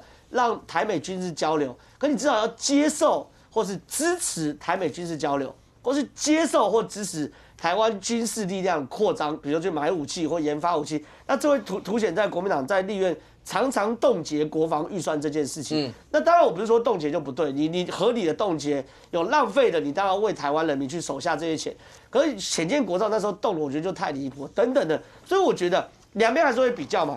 一边民进党政府当内政离大啦，我刚才讲过那个柬埔寨，我才我才骂过。可再怎么样，在外交上可以看到，在民进党政府的执政下，台美的关系是迈向呃史无前例的最好。然后台湾跟美国和日本军事合作，现在互动是最好的。嗯。然后台湾军事也不断在改革，然后很多过去美国不愿意卖给我们的武器，我们也买到。所以我觉得这些事情点点滴滴啊，就绝对不会是大家觉得说我办一个活动，然后去个哪个眷村升旗。就可以让人家觉得说，对国民党可以抗中保台。坦白讲，我觉得还有很大一段路要走。庄下，其实如果现在回头去看当初呃老共军演那段时间，可以用惊涛骇浪一百八十五个小时来形容。因为今天媒体上释出的就是我们力守那个二十四海里的的防线，如果过没办法，大家就真的就只能对干了。基本上倒不是惊涛骇浪了，而是本来那个就是一个正规该做的事情。但是这个时候特别拿出来，其实关键在蔡英文讲话里面一件事情非常重要。就叫做只要中华民国国军在，嗯，安全就会在，嗯。其实蔡英文在这个时候把这个话一百八十五小时拿出来，是这句话：中华民国。啊，我蔡英文就是中华民国的守护者，国军就是我在支持之下，他们辛苦了，嗯，国军辛苦了，所以这不是你八二三去升个旗，还有九三军人节三军统帅，坦白讲了。本来整个解放军这次的军演，他们就是故意叫这切香肠模式，要把它变成一个新常态。但是呢，二十四海里，说实话，二十四海里谁都不能开枪，谁都不能开炮，是啊，十二海里才是领海嘛。可是二十四海里就代表着我们的寸土不让，我们不能让它真正的逼到十二海里，因为逼到十二海里就叫兵临城下了。所以二十四海里它就放出来，我们军舰里面那个非常对峙，非常近，绝对不能让它冲过来。如果你冲过来的话，可能会跟美国一样。可能会去对撞，或者是其实没有公布的是什么？在那个状况里面呢，应该是我们在暗记的海风大队，嗯，那个熊二的火控雷达都已经打开了，所以中共也知道，其实这就是回到，其实大家都知道这件事情。科比为什么在八月一号就讲说是有风险，嗯，但是不是危机？啊哈。可是在这个时候，总统也告诉你说，在应付这个状况的时候，抗中跑台本来。一出这个军演的时候，我相信参谋总长一定就在横山指挥所，一定就进驻。我们这些军队也在这么快的应应时间里面，你有十一架战机，我就有同样的军队；你有几架战舰，我就有同样的战舰，立刻出去。我们其实做一个防备，这个展现就是我们的一个防卫决心。可是刚刚郑浩讲了一个呢。有些状况真的是我们要去从这个里面去面对。一个是蔡英文在这政治上就告诉你说，你们不要再去那边去朝拜了。我刚刚刚刚军系讲我的文章是什么？对话是叫做什么？对等才能谈话。嗯，如果你不对等呢？过去的时候连爷爷能够过去，那因为是国民党是当时最大在野党，而且很可能拿下江山，所以那个叫对话。而且那个时候美国是需要中国协助反恐，嗯，所以全世界都希望你们能够对话，不要搞成这么僵。那现在国民党呢，连柯文哲都快吃掉你们了。国民党在台湾里面就没有分量了。然后国民党有有对等吗？刘杰一要不要召见你？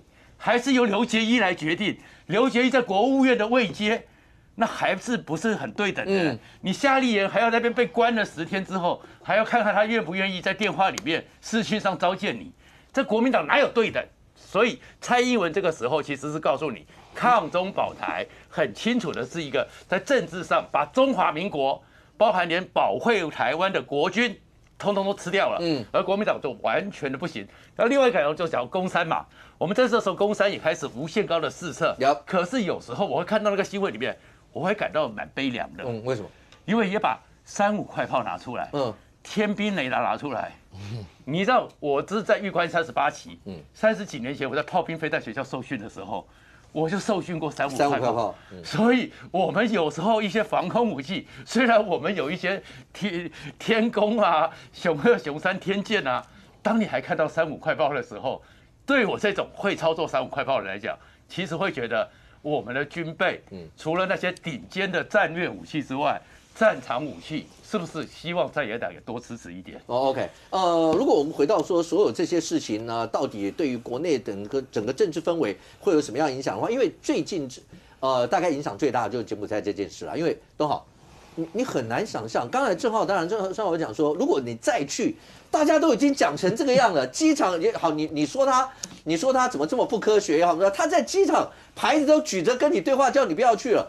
那你还要去？但是换一个角度，有很多人说，因为他的花招百出啊，你有很多时候你真的不知道，你以为像像这两天不是还有讲，呃呃，我们也帮他们讲一下新展银行什么柬埔寨分行，你怎么知道他不是？结果后来新展银行出来跟你讲说，他根本在柬埔寨没有分行，是，你说还有这样的一些讯息，所以他们的花招百出到，你你真的防不胜防哎。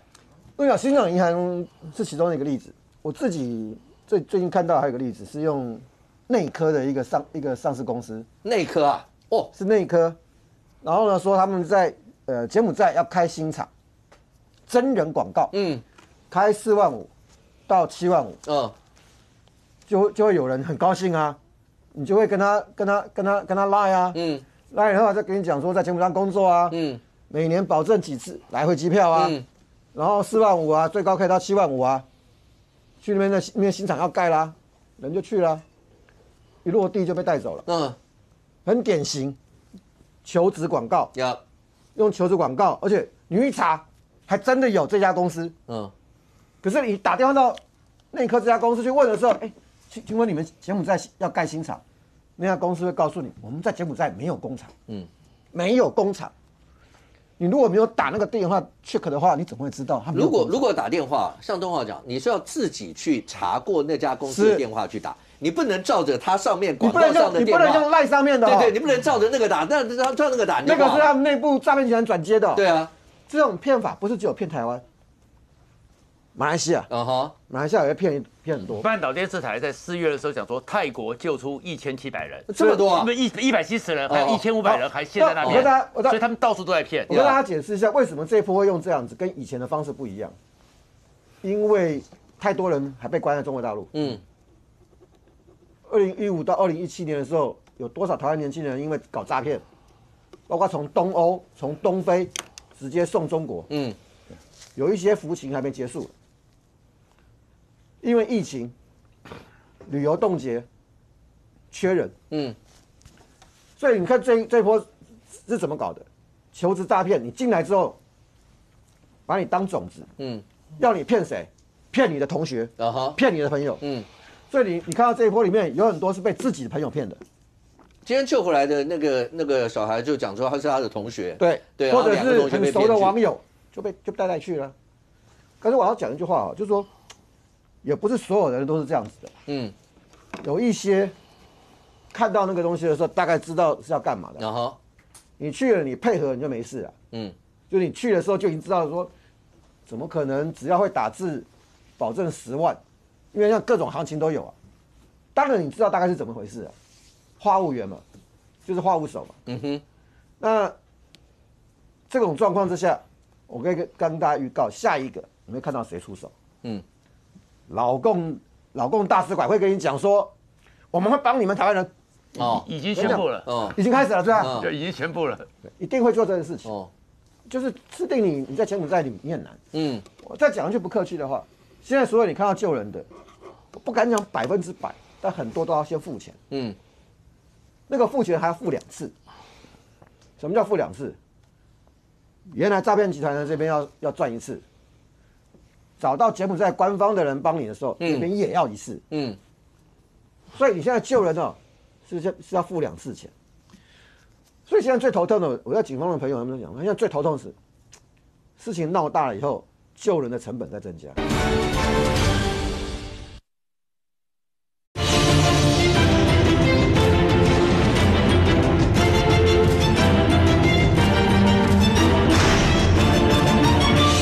原来诈骗集团呢这边要要赚一次，找到柬埔寨官方的人帮你的时候，这边也要一次。嗯，所以你现在救人哦，是是是要付两次钱。所以现在最头痛的，我在警方的朋友他们讲，现在最头痛是事情闹大了以后，救人的成本在增加。哦哈，刑事局也不可能不花钱，平白无能够能够有天大的神通从里面救人出来。嗯，你要拜托人，沿路都要拜托了。还有，现在更麻烦的是，他他跟这个杜拜那边，嗯，因为最近柬埔寨要抓了，他们的情报是整个诈骗集团要往杜拜跑，哦哈，可你以为到杜拜就结束了吗？嗯，没有，然后救的过程，不要跟对方反抗，能够付钱虽然会贵一点，保平安的，嗯，OK，现在眼前大概只能这样。OK，其实其实这整个过程的话，当然是希望从政府到民间，大家都能够发挥一些力量。刚讲，因为能够回来都算幸运的，要不然的话，你说还有回来，可能都已经是天人永隔的那种。很多或是你说有器官被摘，类似像这些，范老师，嗯，最近大家都看到，就讲说，你如果从源头看，就是因为当初老公那个地方。柬埔寨西港就是他“一带一路”的时候，他们希望能够重点把它搞成什么小镇镇啦，什么什么一大堆的，所以出现了很多人我讲说，连 KK 园区的那个物主，大家就讲说，哦，你感觉上他好像人模人样，就是一个就是一个慈善家、慈眉善目的一些大企业家，就没想到是做这样的一些事啊。那还有一些人讲说，有黑金的几巨头打造了整个西港，那那个 story 是怎么样？对我们现在就是看到这这个叫做黑金三巨头啊。那在这这个是当然就是大家看到了，就是锦城集团创办人董乐成，还有一个中富商叫做徐爱民，还有一个就是这个应该是叫涂志江了哈，佘志江，啊佘志江，佘太江，呃就是佘佘佘太君，杨家将那个佘太君，对，佘他是叫做杀猪盘大王哈，这三个人，但是我必须要讲啊，他们跟官方有没有合作？嗯。这三个人难道中国对他们没有办法吗？还是他背后有一个庞大的势力在支撑着？因为我们知道中国是威权国家，我真的要把你们三个人抓起来，把你的家族抓起来，有什么难的？但是为什么这三个人依然很多还是他的党羽还在逍遥法外？我不想想这一次吴思怀、洪孟凯跟郑正乾他们去柬埔寨，当然我我不想他们辛苦，嗯，但是这个资讯我觉得应该是吴思怀他是接头的，就对岸可能有跟吴思怀讲说，哎。柬埔寨这个洪森总理跟我们很熟，去的话可以达到一个营救的效果。我认为他们也是抱着想要啊这个为台湾做事，他们去。但是三个立委到后来只救了一个少年回来，我我不需要讲，他们应该也了解这里面的复杂程度，是就不是可能这个可能吴吴思怀接到，因为吴思怀这个。他之前常常去中国嘛，他跟中国关系也很好啊。这个也曾经在这个人民大会堂的时候树立听这个中国的义勇军进行曲，所以他跟对岸的确军方是有相当的关系。那因此有人可能跟他讲哦，有这个管道，但是这可能只是其中的一条线。嗯，那里面背后有非常复杂，包含我们看到的西港，它变成是一个柬埔寨管不到，嗯，中国的势力好像也进不去，它变成是一个。不受控的地方，变成是一个禁，好像是一个犯罪的天堂，对，化化化外之地。那我们知道，习近平上来之后，什么官、什么部门的官员调马最多？公安部。哦哈，公安部的副部长，什么孙立军啦、啊傅政华啦、孟宏伟啊，什么李东升，四五个副部长。那我必须要讲。因为公安部过去一直是周永康系统，就是我们叫政法体系，他是江泽民系统的人，所以是不是习近平也认为说，哎，公安部跟这些境外的，包含柬埔寨的黑道是有勾结的，他们在后面护航。大家不要忘记哦，孟宏伟当过公安部副部长，他还当过国际刑警组织的主席。哎，国际刑警组织是我中国在掌控，我为什么对柬埔寨这个地方我完全没有办法伸手下去？包含西港这个地区。你可以，你可以刚才讲过啊，这三个人你可以给他发布红色通缉啊，全世界都抓。那为什么没有？所以我的意思就是说，这个背后其实有非常复杂的中国高层的，包含他们的权力斗争，嗯，还有就是他们的警警方跟黑社会啊、黑道之间的关系，还有跟柬埔寨之间的关系，嗯，所以那个是个相当错综复杂。但是我们也看到，就是说，其实啊，我们在过去过去几年，大家还记得，我们从二零一六年到二零一八年这三年，那时候柬埔寨。很多台湾人被抓哦，因为因为是跟中国合作在做这个诈骗。有这些人这三年大概算起来大概八十几个人，你大家还记得那时候吗？他们是被戴着头罩，嗯，然后戴着手铐，押到中国的飞机，是，然后送到中国去审判，因为他们认为说，中国认为说我们中国受到这个诈骗集团受害很多，嗯，可是你们台湾往往都是轻判，所以就送到中国去。那个时候的诈骗犯，我不需要讲，大概都是专业的诈骗。OK，我们不要以为诈骗很容易，哎，嗯，你诈骗你要。要角扮演角色，然后让对方啊受到感动。对，所以现在的情况不一样。我觉得跟基本讲，现在他变成变成掳人勒赎了。嗯嗯，他他叫你去，而且还还还希望你惜家带眷去。嗯，那他可以来做勒赎。那再不勒赎不成的话，我就变成器官买卖。所以我觉得这个情况跟之前那个诈骗情况又有点改变。所以面对这个新的情势啊，但我们都我是觉得。有大家各方面努力，大家都要肯定。是啊，外交部也不应该这个时候啊说别人或怎样，或者说啊他是什么别有企图，怎么样配合用政府的力量？当然我们知道是有限的，透过民间的力量，透过台商的力量，来让这些在柬埔寨的民众能够回来。OK，来，呃，就是最后三十秒来。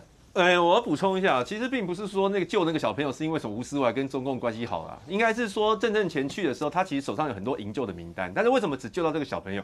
因为这个小朋友很明确的告诉家人讲说他的位置在哪里，哦，而且他家人好像也有付了赎金，OK，所以才他们就是去把他接回来，他的过程应该是这样。哦，OK，哎，我就是那你当然你没有通过当地的非官方手段哈，都这个救人当然是很困难，很困难，不可能，嗯。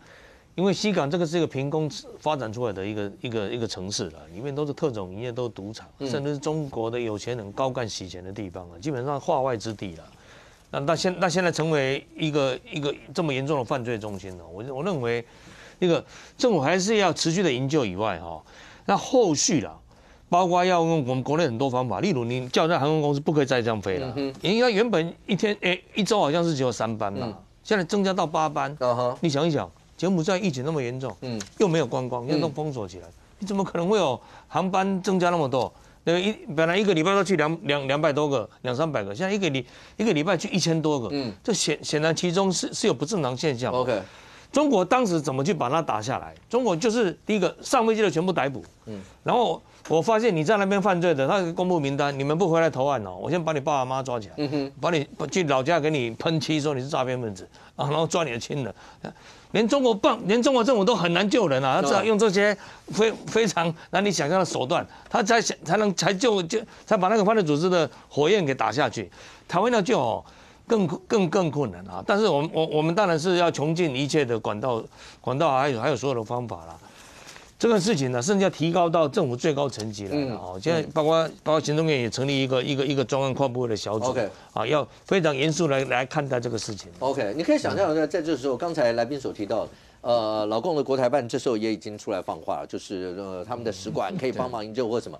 当然，呃，对我们的政府来讲的话，因为总是有一些外交的困境，那我们一定会重进自己的一些方式，包括政府，包括民间，有各方面一些的力量，希望能够在滞留在柬埔寨，然后受受困的一些国人，或在其他国家有这样的人，能够尽快的回国。但更重要一点是，不要再前仆后继了。OK？那有这么多一些讯息，麻烦也看一下，斟酌一下。非常谢谢现场所有来宾，也非常谢谢观众的收看，新闻面对面，我们下周见，拜拜。